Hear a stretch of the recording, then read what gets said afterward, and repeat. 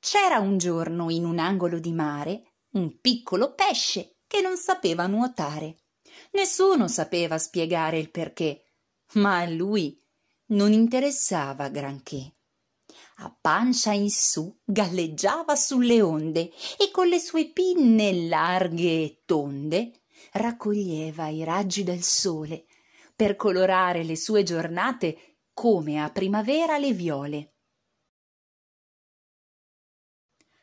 Poi, un giorno, la pioggia arrivò e con la sua pesante tristezza sul fondo lo scaraventò. Quel pesce è nato storto perché non sapeva nuotare e ora eccolo morto. Se lo doveva pure aspettare.